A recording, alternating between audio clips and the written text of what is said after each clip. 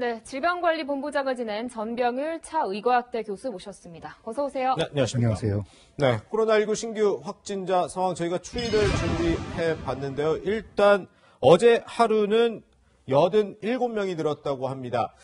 교수님, 그저께는 사실 뭐 대구에서 그 요양병원 집단 감염이 있었기 때문에 좀 솟아오르긴 했었지만 이제 뭐 세계적으로 지금 대유행하고 있는 상황에서 이 정도면 좀 관리를 잘 하고 있다 이렇게 볼 수 있을까요? 네, 일단 두 자릿수 관리를 유지한다는 것은 네네. 어느 정도 우리 방역 당국의 통제가 그 통제권 안에서 지금 이루어지고 있다. 네네. 이렇게 지금 판단할 수가 있겠지만 네. 중요한 것은 이제 해외에서 들어오는 유입 인구가 지- 증가되면서 그렇죠. 이 해외 유입 인구를 통한 지역사회 감염이 지금은 상당히 우려가 되는 그런 상황이라고 할 수 있겠습니다. 네. 그러니까 말씀하신 것처럼 오늘도 보면 그러니까 87명이 늘었는데 이 중에 수도권이 35명이었어요. 대구 지역보다 더 많았는데 보니까 콜센터 관련이랑 해외여행 관련이었거든요. 네. 이 부분은 좀 어떻게 봐야 할까요? 네, 사실 이제 콜센터와 관련된 문제는 구로 콜센터를 중심으로 한 2차, 3차 감염이 지금까지도 계속 나타나는 문제고요. 네. 그다음에 이제 해외 그 유입 인구들은 지금 유럽이라든지 또는 미국에서 많은 또 우리 교민들도 지금 입국을 하고 있고요. 또 그런 과정에서 그분들이 실제 그 지역에서 이 코로나19 바이러스에 상당히 오랫동안 노출돼 있었기 때문에 네네. 어, 비록 입국 당시에는 증상이 없었다 할지라도 입국 이후에 증상을 나타내고 확진 판정을 받는 경우가 지금 계속 생기고 있다는 점입니다. 뿐만 아니라 그분들로 인해서 가족들 간의 어떤 감염, 네. 또그 지인들과의 감염, 2차 감염, 3차 감염이 지금 우려가 되는 상황이기 때문에 방역 당국의 입장에서는 상당히 지금 어려운 그 이 위치에 계속해서 지금 놓여져 있다. 네네. 이렇게 저는 보고 있습니다. 네, 그렇군요.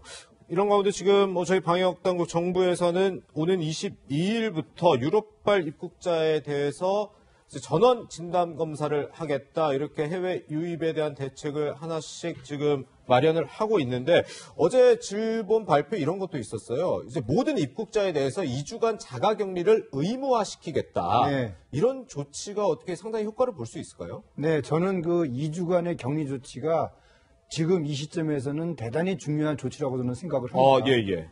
우리나라가 지금 그 출국하는 그 국민들이 일본이나 또는 중국을 가더라면 다 자가격리 2주를 지금 적용받고 있지 않습니까? 그렇죠, 예. 이제 그런 형태의 자가격리 조치가 예. 이제는 그 해외 유입 인구들을 통해서 반드시 이루어져야 되고요. 네네. 뿐만 아니라 이제 내국인의 경우는 뭐 자기 집이 있으니까 네. 집에서 이제 접촉자와 같은 자가격리를 취하고 예. 외국인들의 경우에는 숙소가 정해져 있는 것이 확인이 돼야지 입국이 되는 그런 룰을 정하고 예, 예. 그 숙소에서 의무적으로 2주 격리 조치를 하고 그리고 나서부터 이제 활동이 이루어지도록 하는 네. 그런 그 입국자 관리가 이제는 적용이 돼야 된다고 저는 생각을 합니다. 그렇군요. 네, 이런 가운데 17세 고등학생이 급성 폐렴으로 숨지면서 그 원인이 코로나19인지가 논란이 됐는데요. 보건당국이 결과를 발표했습니다.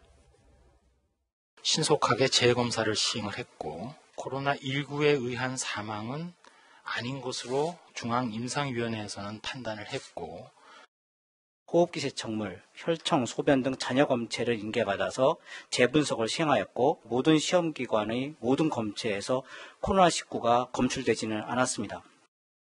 교수님, 그러니까 결국에는 음성이라는 건데, 근데 13차례나 검사를 받고서 음성 판정을 받았어요. 사실 일각에서는 이 검사 자체에 대해서 의문을 가지는 이야기도 나오거든요. 네, 저는 이제 기본적으로 이 병원에서 왜 그렇게 많은 검사를 했는지가 일단 의문으로 생각을 하고 있습니다. 아, 네. 예. 아마도 코로나19 감염에 대한 부분을 너무 집착하지 않았나 아. 예, 그런 생각이 들어요. 네네. 사실상 검사 자체에 신뢰를 갖고 있다면은 해당 의료기관에서 그렇게 많은 검사를 할 필요가 없죠. 네. 네. 그리고 그 검사를 여러 번 해서 마지막에 소변에서의 어떤 저 일부 양성 판정이 나왔다는 것, 네. 그것 때문에 상당히 좀 많은 문제를 일으키고 있고 또 의혹을 제기하고 있는 상황이라서 네. 이 의료기관에서의 그런 많은 검사가 어떻게 보면 불필요한 의혹을 만들어냈다. 저는 이제 그렇게 생각을 하고 있습니다. 네. 네. 또 한 가지 조금 우려스러운 점이 보건당국에서 마지막에 말씀하신 것처럼 일부 양성이 나온 거에 대해서 이게 영남대병원 이 17세 청소년을 검사한 영남대병원의 오류 검사 오류 가능성을 제기했어요. 그래서 네. 아니 그렇다면 이 코로나19 검사 자체가 다소 신뢰성이 떨어지지 않을까 많은 시청자분들 좀 우려할 수 있을 것 같거든요. 네, 이제 그 부분에 대해서 네. 어, 보건당국은 그 검체를 조사하는 과정에서 이제 대조군을 이제 또 같이 조사를 합니다. 예, 예. 근데 그 대조군에서도 어, 코로나19 양성 반응을 보였습니다. 예. 그러니까 대조군에서는 원래 양성 반응을 보이면 안 되는 거거든요. 네. 이제 그런 부분들 때문에 보건당국에서는 이거 영남대학교 병원의 검사 과정에서 오류가 있었던 것은 아닌가 예, 예. 이제 그런 발표를 한 내용입니다. 예. 앞으로 어, 보건당국이 영남대학교 병원의 검사실에 대한 전반적인 검사 과정 예. 그리고 또 어, 키트에 대한 것들을 다 조사를 하니까 네네. 거기에서 이제 어, 문제가 있다면 아마 밝혀지지 않을까 생각을 합니다. 네. 네, 일단 병원 측은 이런 우려 의혹에 대해서 황당하다는 입장인데 이거는 좀 검사 결과를 좀 봐야 할 것 같고 네. 또 논란이 되고 있는 부분이 소년의 사망 진단서예요. 처음에 네. 코로나 19를 사망 원인으로 썼다면서요. 근데 이걸 왜 수정이 된 거죠? 아무래도 이제 의료진들은 네. 이렇게 검사를 많이 했다는 것 자체가 코로나19 감염에 대해서 아마도 확신을 했던 것 같습니다.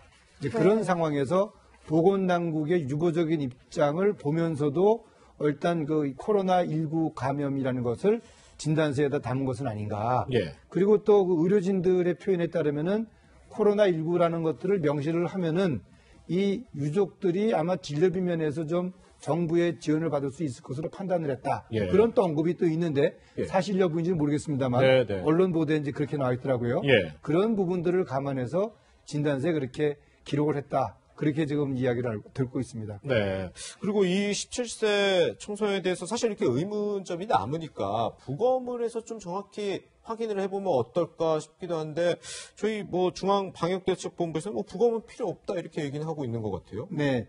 사실 이제 어떤 의학의 발전은 그 사망하신 분의 부검을 통해서 원인을 규명하는 것이 어떻게 보면 의학의 발전입니다. 네네. 근데 이제 우리나라에서는 그 시신을 이렇게 함부로 손상하는 것에 대해서는 예, 예. 유교적인 그런 인식에 따라서 네. 거의 금기시되어 있죠. 아, 예. 이 17세 청소년의 경우에도 유족들이 그 이 아드님의 부검을 원치 않는 그런 상황이었던 것으로 제가 알고 있습니다. 아. 따라서 보건당국도 그러한 유족의 입장을 존중하고 그래서 이제 부검을 하지 않는 것으로 결정한 것으로 제가 알고 있습니다. 네. 네. 그런데 교수님 지금 이 코로나19 뭐 음성이든 양성이든 이 부분은 뭐 차치하더라도 꼭 한번 짚고 넘어가야 할 부분이 이 학생이 10대 청소년으로 건장했던 남성인데 네. 이렇게 급성 폐렴으로 숨지는 과정에서 적절한 의료 이런 치료를 잘 받지 못했다는 부분이거든요. 이건 정말 문제 아닙니까? 네, 지금 이 17세 청소년이 10일 날 저녁부터 발열 증상이 있었고 네. 그리고 12일 날 38도의 고열,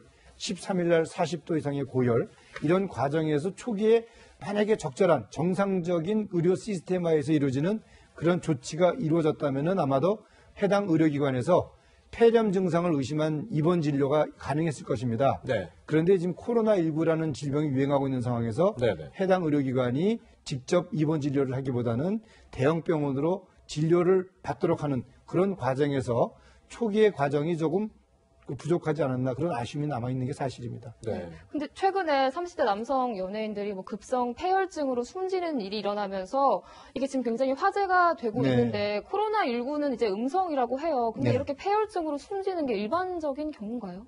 어, 두 분의 연예인들에 대한 그 이 언론 보도를 보면은 네. 초기에 이제 뭐 인후염이라든지 임파선염 이런 질병을 진단을 받았는데 네. 그 질병을 치료하는 과정에서 아무래도 외래 진료를 초기에 받다 보니까 증상이 악화되는 과정에서 적절한 치료 시기를 놓치고 그에 따라서 이제 폐혈증이 심화가 되고 네. 그러면서 이제 다발성 장기 손상 등을 받게 되고 그렇게 돼서 결과적으로 사망에 이른 그런 안타까운 일이 벌어진 것 같습니다. 예, 예. 네. 어, SNS상에서는 아마 이 두 분들이 다 그 코로나19에 감염된 것이 아닌가라는 그런 의혹들이 많이 올라오고 있습니다만 명확하게 이 두 분은 그 세균성 감염에 의한 네. 폐혈증으로 진단이 내려졌습니다. 예. 네, 저희가 이렇게 코로나19 국내 속보와 또 폐혈증으로 숨진 청소년 이야기까지 해봤는데요. 지금 이탈리아에서는 이 코로나19 사망자 수가 중국을 넘어섰다고 합니다. 이 소식은 잠시 뒤에